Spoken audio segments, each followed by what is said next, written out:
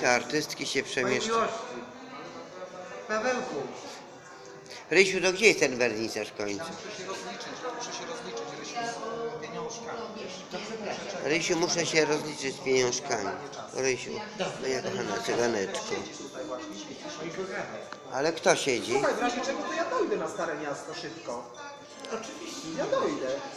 Ja dojdę. Nie czytałem jeszcze.